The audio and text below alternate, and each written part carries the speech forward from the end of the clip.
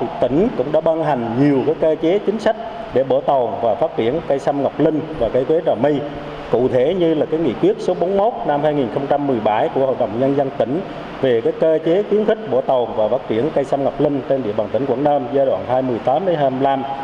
nghị quyết số 40 năm 2017 của Hội đồng Nhân dân tỉnh về cơ chế hỗ trợ bảo tồn và phát triển cây quế trà my trên địa bàn tỉnh Quảng Nam giai đoạn 2018 đến 2025 và một số cái văn bản chỉ đạo khác. Về cái công tác quản lý giống sâm ngọc linh và cây quế trà my thì báo cáo đồng chí, đối với cây sâm ngọc linh thì cây sâm ngọc linh Quảng Nam đã được cấp chỉ dẫn địa lý và được nhà nước bảo hộ. Hiện nay, sản phẩm từ sâm ngọc linh thì chưa đáp ứng được cái nhu cầu kể cả là cái nguồn giống cung ứng cho nhu cầu trồng mới. Để đáp ứng nhu cầu của người tiêu dùng sản phẩm sâm ngọc linh thì Trung tâm phát triển sâm ngọc linh và dược liệu Quảng Nam, tệ giống đất ngo và các hộ gia đình trên địa bàn đã xây dựng cơ sở trồng cái nhân tạo giống sâm ngọc linh nhằm cung cấp cây giống cho trồng mới dưới tán rừng tự nhiên. Tuy nhiên là việc tạo giống cây sâm ngọc linh gặp khó khăn trong cái việc xác nhận nguồn gốc giống,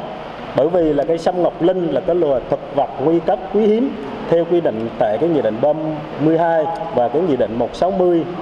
năm 2013 của chính phủ về cái tiêu chí xác định lừa và cái chế độ quản lý danh mục giống nguy cấp quý hiếm. Đồng thời là cấp cái văn bản hướng dẫn quản lý nguồn gốc xuất xứ đối với cây dược liệu nói chung và cây sâm ngọc linh nói riêng thì chưa cụ thể, dẫn tới cái việc quản lý là gặp khó khăn. Sở Nông nghiệp và Phát triển Nông thôn cũng đã có văn bản đề nghị Bộ Nông nghiệp Phát triển Nông thôn hướng dẫn cái việc xác nhận nguồn gốc giống và công nhận nguồn gốc giống cây dược liệu và cây sâm ngọc linh trên địa bàn tỉnh Quảng Nam và hiện nay thì đang chờ cái ý kiến hướng dẫn của Bộ Nông nghiệp và Phát triển Nông thôn. Bên cạnh đó thì tỉnh cũng đã ban hành cái quyết định số 3957 ngày 9 tháng 11 năm 2017 về cái quy chế quản lý sử dụng chỉ dẫn địa lý sâm ngọc linh cho sản phẩm sâm cũ của tỉnh Quảng Nam. Tuy nhiên cái việc triển khai thì hiện nay vẫn còn khó khăn, nhất là cái việc xác định cái nguồn gốc xuất xứ chất lượng giống cây ban đầu của việc trồng của sâm ngọc linh thứ hai là đối với cái cây quế trà my thì cây quế trà my đã được trồng từ xưa đến nay trên địa bàn tỉnh quảng nam và tập trung là ở bốn huyện nam trà my bắc trà my thì phước sơn và tiên phước trong giai đoạn của thập niên 90 của thế kỷ trước thì nhiều địa phương đơn vị đã tiến hành gieo ươm cây quế bát cung cấp cho người dân trồng trong vườn nhà, vườn rừng và dẫn đến cái việc lê tập giống, làm mất thương hiệu và làm suy thế của nguồn giống cây quế trà my. Để đảm bảo cho cái việc phát triển vùng nguyên liệu ổn định và quản lý, định hướng phát triển lâu dài cho cây quế gốc trà my thì tỉnh đã thực hiện cái việc quy hoạch phát triển, định hướng đến năm 2030 với tổng diện tích là khoảng 10.000 hectare đồng thời là có cơ chế hỗ trợ bảo tồn và phát triển, trong đó là có việc hỗ trợ bảo tồn phát triển giống. Thực hiện cái ờ, cơ chế hỗ trợ bảo tồn phát triển cũng như là cái quy hoạch phát triển quế của tỉnh thì sở nông nghiệp phát triển nông thôn, ủy ban nhân dân huyện nam trà my phối hợp với trung tâm nghiên cứu lâm sản ngô gỗ thuộc viện khoa học lâm nghiệp việt nam lựa chọn 10 hecta rừng giống quế gốc trà mây để chuyển hóa thành rừng giống, làm cái nguồn cung cấp giống cho nhu cầu phát triển. Đồng thời là lựa chọn 90 cây trậu trong đó là đã phân tích các chỉ số về mặt hoạt chất của cây quế trà mây để công nhận các cái cây trậu đó làm cơ sở cho bảo tồn cái nguồn giống gốc cũng như là cung cấp giống cho nhu cầu phát triển. Hiện nay thì cái việc mà hoàn thành cái hồ sơ để mà công nhận cái vườn giống cũng như cây giống gốc thì đang được cái trung tâm dịch vụ kỹ thuật nông nghiệp huyện Nam Trà My phối hợp với trung tâm nghiên cứu lâm sản nguồn gỗ thuộc viện khoa học lâm nghiệp Việt Nam hoàn thiện để tỉnh sở nông nghiệp phát triển nông thôn công nhận. Cái hạn chế lớn nhất của công tác quản lý giống hiện nay đó là cái việc quản lý giống, chất lượng nguồn gốc xuất xứ giống, quế, nói chung và cây dược liệu. Thì nó còn hạn chế trong công tác quản lý, nhất là cái việc quản lý đối với cái việc sản xuất của các hộ gia đình cá nhân và cái sản nhu cầu giống thì có, nhưng mà việc sản xuất là không đáp ứng được cái nhu cầu. Mà trong đó là rõ nhất là cái cây sâm ngọc linh. Thứ ba là một số giải pháp định hướng phát triển cái cây quế trà my trong thời gian đấy thì từ cái bài học về việc dẫn nhập cây quế từ vùng pháp vào Quảng Nam không được quản lý chặt chẽ, dẫn đến là ảnh hưởng đến thương hiệu cây quế trà my trong quá khứ. Và để ổn định và phát triển hiệu quả cây quế trà my thì chúng ta cần tập trung một số vấn đề.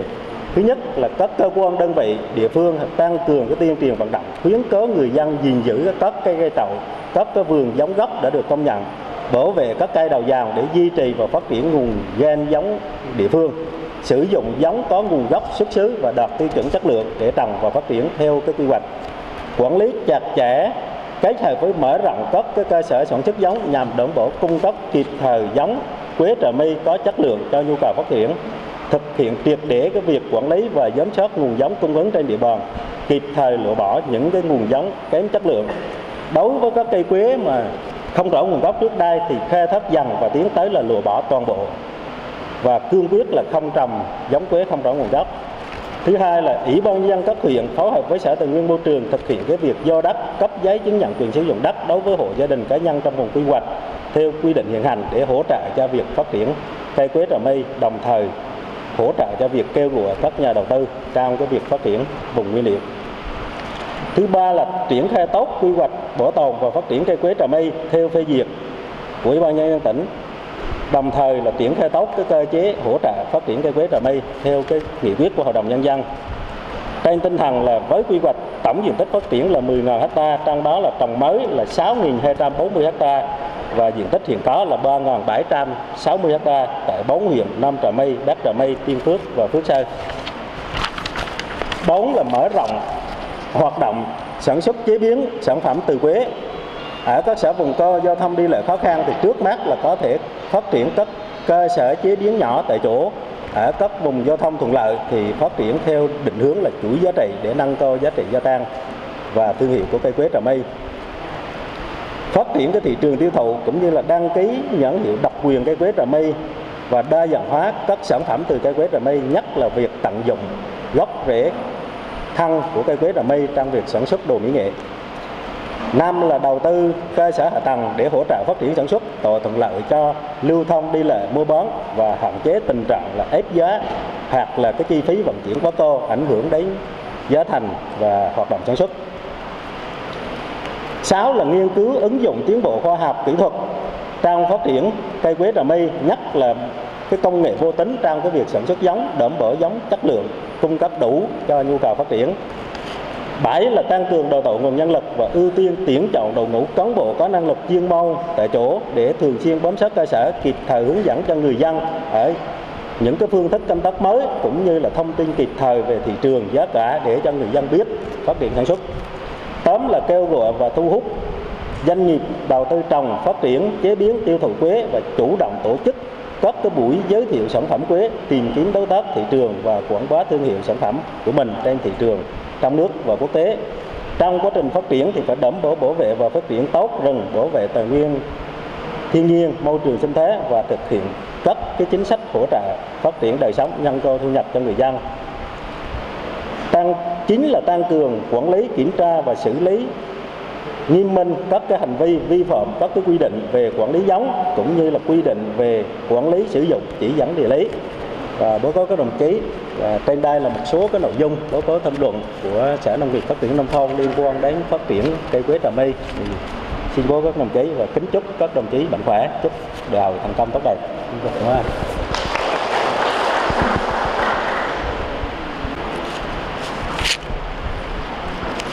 Kính thưa quý lãnh đạo, kính thưa quý vị đại biểu, kính thưa quý hội viên và các cô chú anh chị tôi xin thay mặt cho công ty cổ phần thương mại dược sông ngọc linh quảng nam xin trình bày à, ngắn gọn tham luận à, có tựa đề là giá trị gia tăng các loài cây đặc sản tỉnh quảng nam chế biến sau thu hoạch. Trong phần trình bày của tôi có 3 phần. Thứ nhất là đánh giá ưu thế cây đặc sản tỉnh quảng nam và thực trạng chế biến sau thu hoạch thưa quý vị đại biểu quảng nam là vùng đất đặc biệt của miền trung nói riêng và của việt nam nói chung nơi đây là vùng đất đặc biệt có sự giao thoa về khí hậu biển đồng bằng miền núi và khí hậu gió lào Quảng Nam có nhiều núi cao, độ phủ rừng còn dày đặc, đặc điểm thiên nhiên và hệ sinh thái còn giữ gần như nguyên vẹn một số vùng, đặc biệt là các huyện miền núi. Chính vì để đó, Quảng Nam vẫn đang là vùng đất bảo tồn và phát triển nhiều loại cây đặc sản bản địa, hồ tiêu, cây tinh dầu, đặc biệt là các loài cây dược liệu như quế trà mi, sâm ngọc linh, dương quy, dạo cổ lam, chè dây, đẳng sâm, ba kích, vân vân. Qua các tài liệu khoa học, các loài cây đặc sản của tỉnh Quảng Nam, đặc biệt là các loài cây dược liệu có hoạt chất cao đáp ứng nhu cầu sản xuất và chế biến các sản phẩm thuốc, thực phẩm chức năng, thực phẩm bổ sung dinh dưỡng, phục vụ đời sống và sức khỏe con người. Thực trạng hiện nay của đồng bào, người làm nông và các doanh nghiệp trong tỉnh, trong địa bàn tỉnh còn đang rất hạn chế trong chế biến sau thu hoạch để nâng cao giá trị kinh tế của sản phẩm được nuôi trồng. Hầu hết đều sơ chế, bán thô nguyên liệu, nhâm dầm và nhiều loại hình sản phẩm được chế biến theo phương pháp thủ công và truyền thống. nhận thức hiệu quả kinh tế về chế biến sâu các sản phẩm đặc hữu nhằm gia tăng giá trị, gia tăng và thương hiệu sản phẩm địa phương sau thu hoạch thông thường, một số loại cây không chỉ khu trú ở một địa phương mà trải dài ra nhiều vùng địa lý và vị tuyến khác nhau thí dụ, cây đẳng sâm cây ba kích cây quế, phân bổ ở các tỉnh lâm đồng, gia lai, con tum, quảng nam ra tới quảng ninh, yên bái, lào cai, hà giang. Tùy theo đặc tính thổ nhưỡng, khí hậu giống bản địa mà mỗi loại cây có thể hình thành các hoạt chất sinh học khác nhau của mỗi vùng miền. Chính vì những tính chất vượt trội cho nên một số loại cây được công nhận sự khác biệt bằng chỉ dẫn địa lý được nhà nước công nhận và để các thương hiệu địa phương có chỉ dẫn địa lý thực sự có ý nghĩa, ngoài việc nuôi trồng, phát triển, kiểm soát chất lượng, chúng ta còn phải luôn nghĩ đến chuyện hòa nhập thị trường, nghĩa là đưa sản phẩm đến tận tay người tiêu dùng bằng việc chế biến sâu, sau thu hoạch, bằng các phương pháp và quy trình hiện đại với chất lượng tốt, mẫu mã đẹp, thay cho các phương pháp chế biến thủ công, truyền thống, chưa phù hợp với khuynh hướng tiêu dùng hiện đại để minh chứng cho việc gia tăng giá trị. Nếu đầu tư sâu vào chế biến sau thu hoạch chúng ta sẽ không phủ nhận những ý kiến chúng tôi trình bày trong bài tham luận này. Thí dụ đầu tiên là vỏ cây quế trà mi. Chất lượng loại một hiện nay dao động ở tại địa bàn tỉnh ta từ 45 đến 50 triệu một tấn.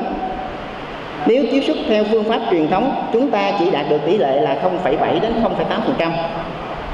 nếu chiết xuất theo phương pháp siêu O2 siêu tới hạn thì chúng ta sẽ thu được tỷ lệ là 1,4 đến 1,5% và phụ phẩm sau chiết xuất như sát vỏ quế có thể dùng để chế biến gia vị và một số sản phẩm tiêu dùng khác. Tỷ lệ chiết xuất tinh dầu vỏ quế bằng phương pháp CO2 siêu tới hạn sẽ cho năng suất tương đương 14 đến 15 kg trên một tấn một kg tinh dầu quế đạt chuẩn thực phẩm, chưa trích ly curamin có giá thành khoảng từ 4 triệu đến 5 triệu đồng một ký. Như vậy, một tấn quế sẽ thu hoạch sau chế biến, chưa bao gồm sản phẩm phụ sẽ tương đương khoảng 65 triệu. Nếu tiếp tục trích xuất curamin ra khỏi tinh dầu quế, thì tinh dầu quế và phụ phẩm sẽ gia tăng giá trị lên đến 85 triệu đồng một tấn chúng tôi cũng xin nói thêm curamin trong quế của chúng ta không phải là một chất độc, nhưng do tỷ lệ quy định theo chuẩn quốc tế thì hàm lượng trong tinh dầu quế của chúng ta quá cao cao nhiều hơn các nước. Cho nên nếu tích ly được tỷ lệ 7% curamin trong tinh dầu quế thì sản phẩm này giá trị cao dùng sản xuất thuốc trong dược phẩm để điều trị tim mạch. Một ký curamin nếu đạt chuẩn có giá thị trường khoảng tương đương 600 USD. Như vậy, nếu đầu tư chế biến sau một tấn dầu quế trà my có thể đạt được doanh thu trên 100 triệu đồng. Một cách nuôi trồng sản xuất và khai thác vỏ cây quế đúng cách để làm gia vị và thực phẩm thì một kg bột vỏ quế có thể đạt được từ 7,5 đến 8 đô la trên một ký tương đương với 184 triệu đồng trên một tấn nếu đầu tư sâu vào chế biến sau thu hoạch thì doanh thu một tấn dầu quế hoàn toàn có thể đạt vượt qua ngưỡng 100 triệu đồng trên một tấn. Tất nhiên, để giá trị gia tăng cao, ngoài việc chọn giống, kỹ thuật nuôi trồng, công tác thu hoạch phải tuân thủ hết sức nghiêm ngặt về an toàn vệ sinh thực phẩm và kỹ thuật chế biến phải được đầu tư bài bản theo chuẩn quốc tế. Thí dụ thứ hai, cây đẳng sâm Hiện nay giá thị trường củ tươi tại Cơm Tum, Lâm Đồng, Lào Cai khoảng từ 30 đến 40 ngàn đồng một kg, tức là khoảng 40 triệu một tấn. Đa phần chúng ta không biết cách chế biến hoặc đầu tư chế biến sâu để có thể bảo quản lâu dài đúng chuẩn theo phương pháp cổ điển của Trung Quốc, thông thường thì phương pháp sông lưu huỳnh để bảo quản sẽ vô cùng độc hại và giá thành sẽ không giá thành thu nhập sẽ không cao. Ngày nay, những doanh nghiệp đã đầu tư máy móc hiện đại bằng phương pháp sấy lạnh đã tạo nên giá trị sản phẩm cao rất nhiều lần. 6 kg tươi giá thành chưa quá 150 ngàn cho ra 1 kg khô có giá trị thương mại trên đến 280 ngàn đồng. Tương tự, cây sâm ngọc linh hiện nay có giá thành trên dưới 90 triệu đồng nhưng nếu đầu tư vào chế biến sâu ngoài phương pháp ngâm dầm nấu liệu đóng chai theo phương pháp truyền thống thì các sản phẩm từ dịch chiết sâm ngọc linh, các dạng đóng viên năng hiện đại sâm ngọc linh mật ong được sản xuất theo phương pháp sấy lạnh cao cấp, chuẩn hóa, hàm lượng sẽ có giá trị tăng 50 đến 60 lần so với hiện tại. Xin lỗi, tăng 50 đến 60 phần trăm so với bán nguyên liệu thô. Chúng tôi cũng xin nói thêm một chi tiết này à, vừa rồi thì chúng tôi đã liên lạc được với chị Phan Tôn Tịnh Hải hiện là chủ nhiệm của MasterChef Việt Nam là chủ của chuỗi nhà hàng ẩm thực Bispo tại các sân bay. Có ý định đưa sông Ngọc Linh vào các món ăn cung đình phục vụ cho du khách nước ngoài và giới thu nhập cao. Thí dụ như là sâm pha yến Hội An trà sâm Việt cung đình các loại viên thuốc chống lão hóa và bồi bổ sức khỏe cao cấp các món ăn dạng cung đình có sâm ngọc linh thay thế cho các loại sâm khác kính thưa quý vị đại biểu khi phân tích giá trị gia tăng các loại cây đặc sản Quảng Nam và cây dược liệu chế biến sau thu hoạch, chúng tôi đúc kết những giải pháp sau đây để nội dung có thể trở thành hiện thực. Nhà nước quy hoạch vùng nguyên liệu hỗ trợ tài chính các để có các vùng nguyên liệu lớn tập trung các nhà khoa học đưa quy trình kỹ thuật nuôi trồng chọn giống, quy trình quản lý chất lượng, quy trình thu hoạch để đảm bảo chất lượng đồng nhất, chất lượng cao. Doanh nghiệp đầu tư nghiên cứu ra các sản phẩm phong phú, cao cấp, chất lượng được chuẩn hóa và có bằng chứng khoa học. Đầu tư mẫu mã bao bì, dạng đóng gói thuận tiện cho thị hiếu người tiêu dùng. Đầu tư marketing, xây dựng mạng lưới bán hàng, tận dụng tối đa thương hiệu chỉ dẫn địa lý và kiên quyết bảo vệ chất lượng nhằm đảo, đảm bảo chất lượng, giá trị lâu dài của, vốn có của nó. Tất cả các giải pháp này đòi hỏi phải có sự phối hợp chặt chẽ của các nhà nhà nước, nhà khoa học, nhà nông và nhà doanh nghiệp. Xã hội luôn phát triển và luôn có khuynh hướng mới mẻ cũng như nhu cầu về nhiều mặt trong đời sống xã hội. Những sản phẩm địa phương hiện nay đã có cơ hội lên ngôi và tạo ra một nguồn thu nhập lớn. Khi mọi người ý thức tạo ra những dòng sản phẩm phong phú, cao cấp để không ngừng phục vụ cuộc sống giá trị gia tăng của các sản phẩm đầu tư chế biến sau thu hoạch có định hướng phương pháp sẽ tạo ra một nguồn thu lớn hoàn toàn có thể góp phần cải thiện một phần đời sống và nhu cầu của xã hội. Trên đây là phần trình bày của chúng tôi. À, trước khi dứt lời xin à, kính chúc quý vị đại biểu được nhiều sức khỏe và thành đạt trong cuộc sống.